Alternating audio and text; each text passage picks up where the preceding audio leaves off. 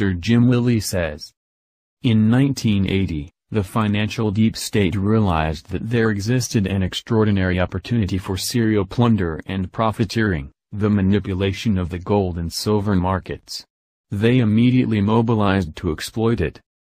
During the subsequent 37-plus years, we are now well into the 38th, the deep state manipulators have criminally looted the gold and silver markets, pocketing astronomical profits for themselves in the process, all of which have come from real victims on the other sides of their fraudulent trades. While literally billions of people worldwide have been financially damaged by this crime, many of them severely, not one of the perpetrators has spent so much as 10 seconds in jail for the global looting spree they have conducted. This is because precious metals price fraud is a state-sponsored crime. While in this article we will concentrate on gold from here on, the exact dynamics we describe also apply to silver. The only difference between the two is that the price carnage in silver has been far worse than it has been in gold, on a percentage basis. As a consequence of the unrelenting gold price manipulation, Gold has been thrust into two severe bear markets that have lasted for more than 27 of the past 37 years, or more than 72% of the time. The first bear market ran from 1980 until 2001, during which the gold price was savaged from $850 to $250 in nominal dollars, a plunge of 71%. Inflation adjusted to today's dollars, the carnage was even worse, it collapsed from $2,674 to $344, an 87% implosion. In 2001, in the midst of unprecedented, at the time, but far worse now, economic, financial and monetary pressures, gold embarked on a 10-year rise to a nominal, although not inflation-adjusted, all-time high of $1,925. The financial deep state had its hands full then with other, more pressing matters, such as keeping its global financial and monetary Ponzi schemes from disintegrating, and was forced to take its eyes off of the gold ball. It is impressive what gold can do when it is freed from the chains of greed, looting, and official corruption. By 2011, after employing its signature techniques, including rampant counterfeiting and reporting fraud, the deep state had returned the errant financial genies to their poison bottles, and was able once again to focus its attention on its favorite, most profitable crime, precious metals price rigging. For the six-plus years since, gold has been slammed into a second major bear market, during which its price has been crushed from $1,925 to $1,050 a collapse of 45%. It has recovered somewhat to $1,210 at the time of this writing. During the entire 37-plus year period, and particularly during the 27-plus years of outright price annihilation, the major gold miners have done precisely nothing to expand the market for physical gold via advertising, direct marketing or any of the other proven demand creation techniques. They have also done nothing to support gold's price in any way, or to take action against the criminal price manipulators. The industry's sole innovative effort during this period was to have its association, the World Gold Council, get behind the gold ETF, GLD. The management of this ETF was placed in the hands of the financial deep state, the exact people who have manipulated the gold price for 37 plus years. Worse, the ETF was set up so that its physical reserves are immune to audit. Very few people, all of them members of the financial deep state, know what actually goes on behind the closed doors of the gold ETF. GLD was supposed to open the floodgates of demand for physical gold, and resuscitate its price so that it would at least keep up with inflation, which, at the very least, is what gold is supposed to do. But this did not happen. Inflation adjusted to today's dollars, gold hit its all-time high of $2,674 in January, 1980.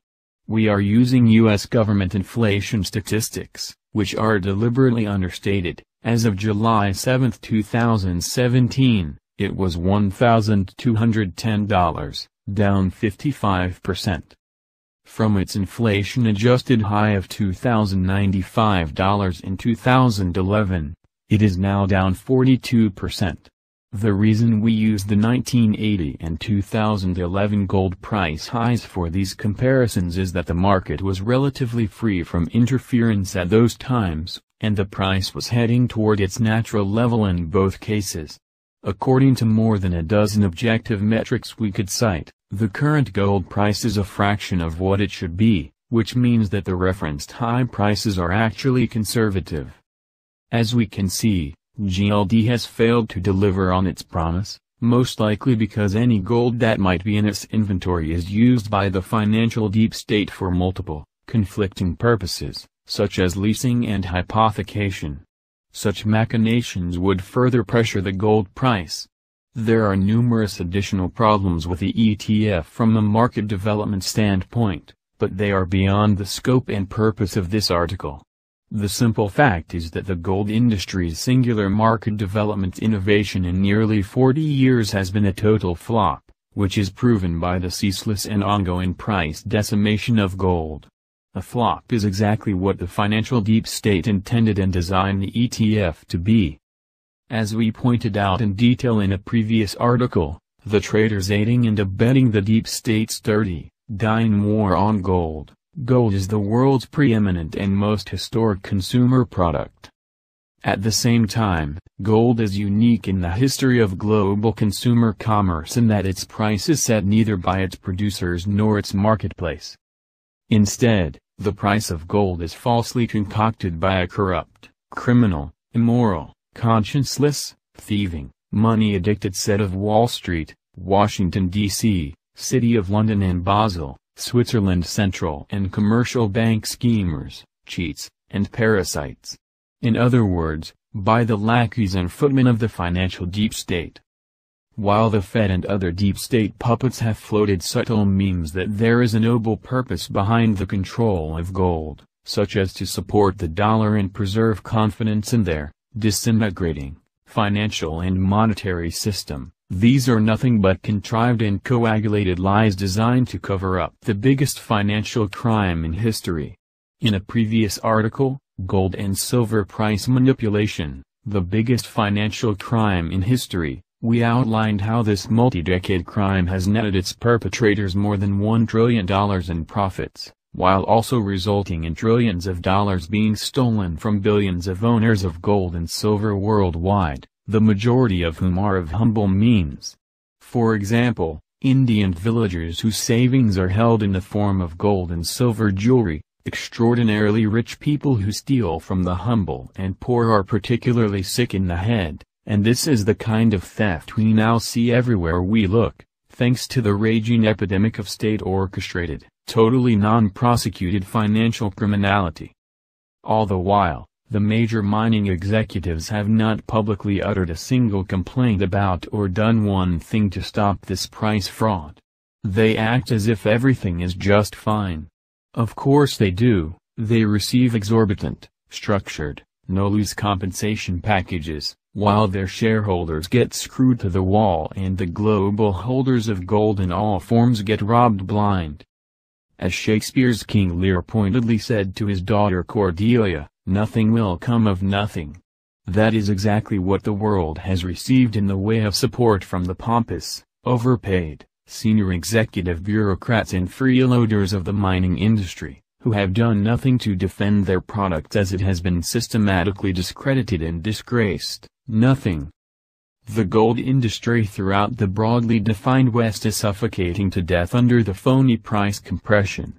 It is not just gold's price that is dying, Demand is, too. Who in their right mind wants to save or invest in an item whose price is maniacally tossed around like a rag doll, cannot even keep up with inflation over time, and is completely psychotic and unpredictable? The financial deep state is, of course, delighted by its success in making a laughing stock of gold, particularly as compared with virtually every other asset class in the world including baseball cards and vintage Hermes handbags, all of which have soared in price. the destruction of gold sentiment has always been its main objective, from the very beginning. It is a required cofactor in the FDS's most ambitious, corrupt, ruthless and money-hungry agenda ever, its scheme to eliminate cash. The profits the cashless society scam will suck out of the people's pockets will be so astronomical and mind-blowing that they will make the mere $1 trillion stolen from the precious metals market look in comparison like a noble act of FDS self-restraint, and a tip they might toss to a caddy. We will see looting in the tens of trillions of dollars, which will financially bomb mankind back to the Stone Age. Many gold pundits would like us to believe that gold will always be the king of money, no matter how devastated its price becomes. But the evidence proves otherwise. Over time, all manner of things have served as money, or currency, cows, sheep, camels, clam shells, cowrie shells, bronze ingots, copper replicas of cowrie shells, metal tools, deerskin, you name it and all of them have faded away like Ozymandias, the one-time king of kings who is now just dust amidst sand. Today, in the United States, it is estimated that 99.5% of the citizens own no physical gold whatsoever in monetary or investment form. For that massive cohort, gold is already completely irrelevant. Though the numbers in Europe are somewhat better, the overall situation is similar throughout the West mass non-ownership. Of course, any real and talented, as opposed to fake and incompetent industry executive would contemplate that number with awe and excitement. Today, it is virtually impossible to find anywhere in the world a consumer market that is 99.5% non-penetrated. For any business executive who actually knows what he or she is doing, this is like having a license to shoot fish in a barrel. How can one miss? Aristotle said that nature abhors a vacuum, and gold is the latest proof of it. Having completely failed its owners and supporters for years, people are now beginning to reject gold and embrace cryptocurrencies, or any other investment vehicle for that matter. This is accelerating the withering trend for gold. And while we firmly believe that gold has a vital, indispensable role to play. The market is increasingly saying, no, it doesn't, at least not for me. Investors vote with their feet by simply walking away, and this is what they are doing when it comes to gold. Our gold research with millennials is sobering beyond belief, but that is a different topic. The point is that gold demand in the West is in deep trouble and literally a fraction of its potential. But actually doing the work to fix this problem is of no interest whatsoever to the lazy and visionless gold industry fixed compensation package executive opportunists. Completely oblivious and inert to what is happening right in front of their faces, gold industry executives are demonstrating that they are in a massive state of dysfunction, delusion and denial. Are we being stern? Yes. Why? Because this has been going on for 37 plus years, and their free passes expired a very long time ago. Enough is enough. To place the gold price rigging farce into perspective, let's ask our good friend Mr. Satire to help us draw a parallel. Assume that the financial deep state's greed is going exponential, which it is, and that the FDS is no longer satisfied with its mere multi-billion dollar annual theft from the gold pits. The ugly, insatiable beast wants more. So its denizens come up with a brilliant idea, how about we move into consumer electronics? They have a chat with their friends at the Crimex, grease all the necessary palms in the regulatory community, and next thing, a new paper trading vehicle is announced, iPhones. Yes, the world can now trade iPhones on the Crimex, and to legitimize its new product, the Crimex announces that it has actually purchased, count 'em, 10 iPhones which they have securely stored in their vault. They are thrilled about the inauguration of this new money-making opportunity. And on the first day of trading, out of the blue and in a matter of seconds, they short 1 million paper iPhones crushing the price from $850 to $250. Yet another $600 million criminally stolen from the markets, and stuffed into their already stuffed pockets. The scheming traders want to cover their shorts, so they call Tim Cook and say to him, we would like to order 1 million iPhones for $250 apiece. By the identical stupidity demonstrated for decades by the major gold miners, we are to believe that Tim Cook would reply, wow, that's quite a price drop. I think we're going to lose a bunch of money on this trade, or at best, break even. For sure, the shareholders are going to take it on the chin, because our profits will plunge if we sell iPhones for this amount. But hey, you Wall Street guys manipulate every other market on earth, why shouldn't you be able to control the price of iPhones, too? So sure, I'll call the people in sales and authorize them to sell you a million iPhones at $250 each. The manipulators are in ecstasy. They are well on their way to solving their eternal riddle, how to create absolutely limitless wealth by doing next to nothing other than simply exploiting the hard work of others. Emboldened, they head back to see their friends at the crime Crimex, with the bribed regulators in tow. And the following day, the Crimex makes another exciting announcement, they are now getting into automotive vehicles, too. Specifically, the Crimex introduces a brand new exchange for paper GM Suburbans. And to prove the legitimacy of their new exchange, they announced that they have purchased 10 Suburbans, and stored them seven stories underground within the New York Fed's vault. They needed to do this because they ran out of space in their own modest vault given that they had to squeeze all those 10 iPhones amongst the 35 ounces of physical gold they have on hand to support the 47 million ounces currently shorted.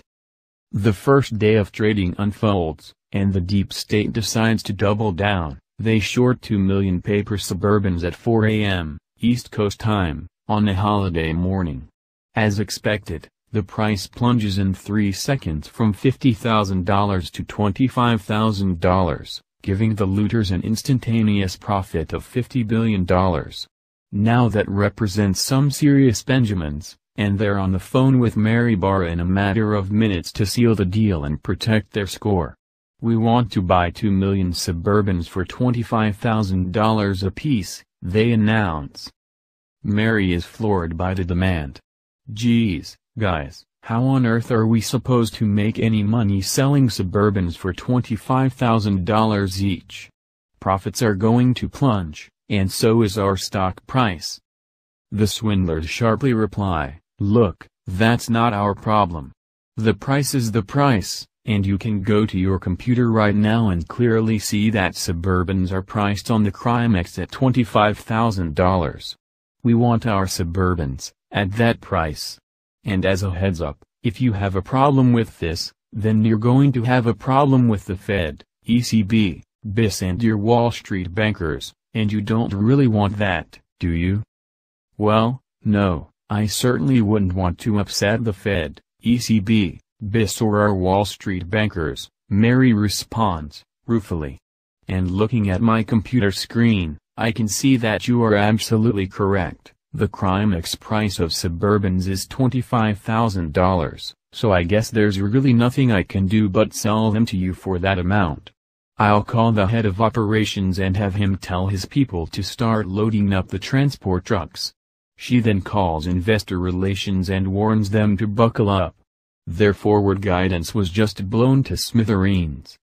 Does anyone reading this article really think that the executives at Apple and GM would be such complete pussies, jackasses and idiots as to roll over for a total scam like that, not just once, but thousands of times over nearly four decades?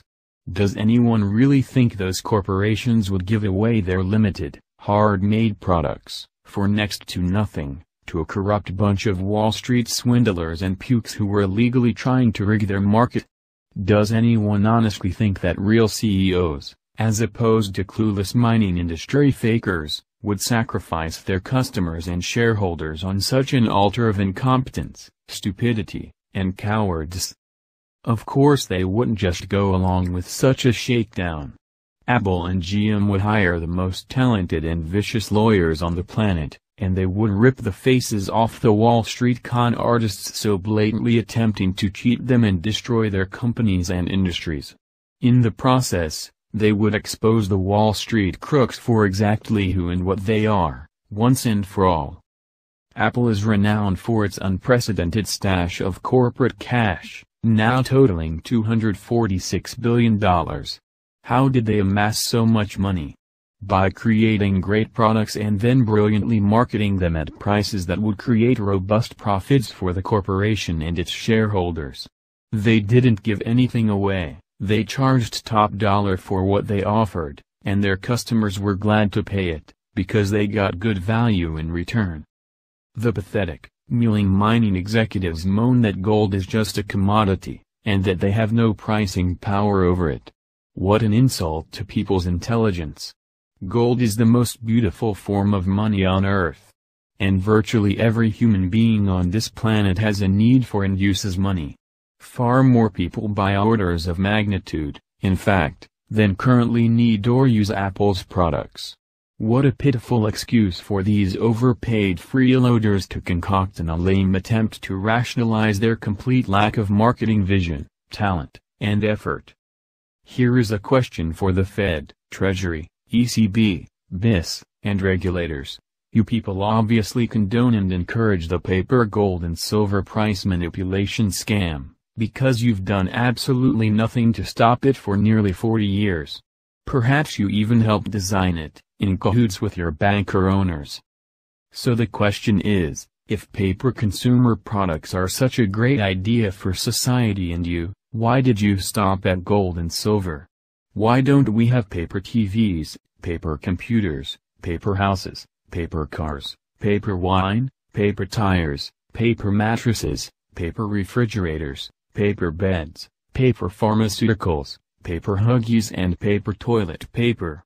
Why isn't every single consumer product paper tradable on the CrimEx, so that Wall Street, the city and all their brethren can profiteer on every single thing that human beings need and do in their daily lives? As acolytes of the financial deep state, how could you central tankers be so remiss as to leave so much easy money on the table, and out of your master's pockets? With paper everything, they and you could loot the people into oblivion. And if this opportunity is properly exploited, it could take central tanking to a whole new level of expansion, criminality and destructiveness. At first, we considered that the financial deep state might have stopped short of paper everything because it would be so blatantly illegal that it would embarrass even them. But we realized that can't be it because they couldn't care less about petty legalities. What do professional counterfeiters care about the law? We suspect they stopped short because they are now singularly focused on their master plan, the elimination of cash. That's the big kahuna for the central tankers and financial deep state, the giant hoover in the sky that will enable them to suck inconceivable sums of the people's money down their Midas throats.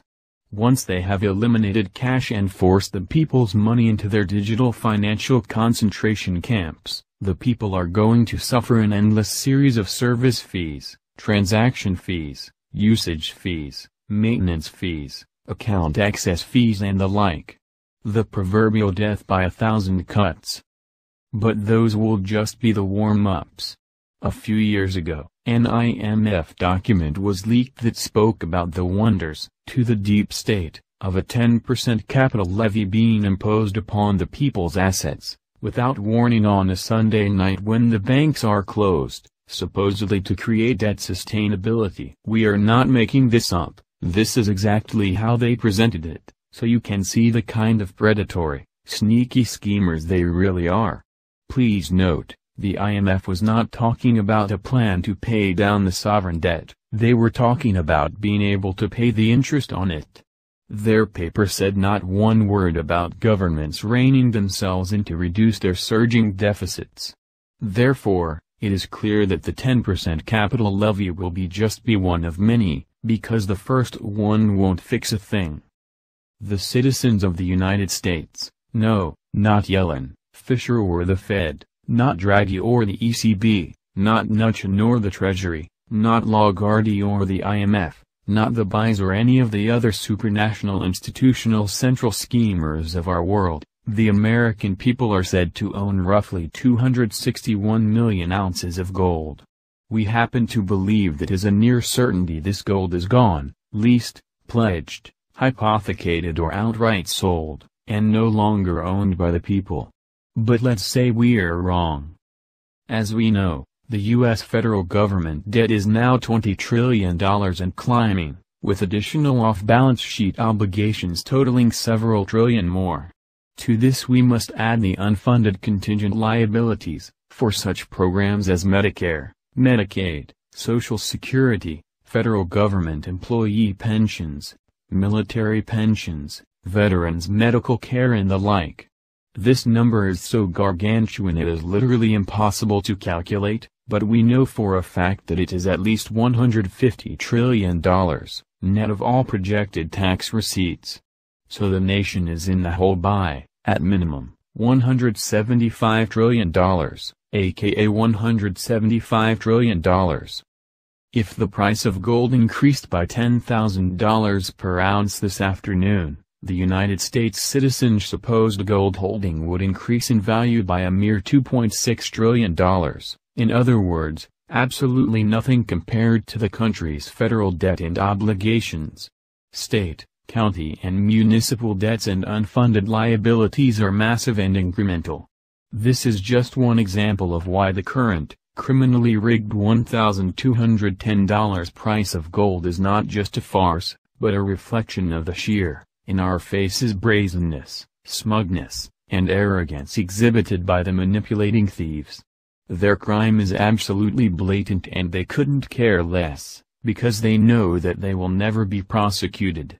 They are not above the law, they are the law and then have the gall to tell us they do God's work. What will spell the end of this colossal criminal conspiracy, we do not know.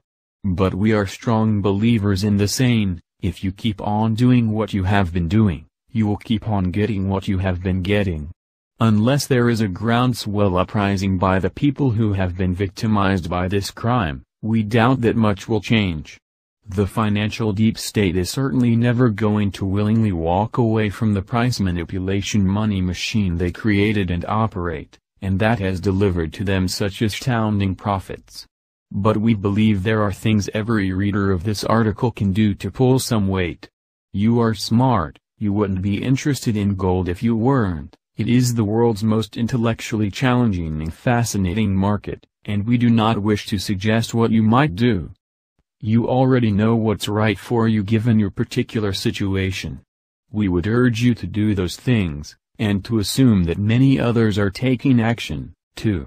If we do not rise up, none of this is ever going to change. Not meaning to be too cosmic on this summer day, we would like to add that we sincerely believe the war on gold is, in fact, an epic battle between good and evil, and one that is genuinely biblical. Gold is only one letter away from God, and came from him as a gift to his people.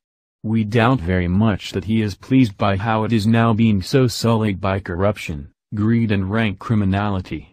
Currently, evil is winning the war hands down, and if it achieves a final victory, humankind can kiss its freedom goodbye as a vast new age of state-orchestrated digital serfdom and slavery begins. We can prevent that from happening, but only if we stand up and fight. The war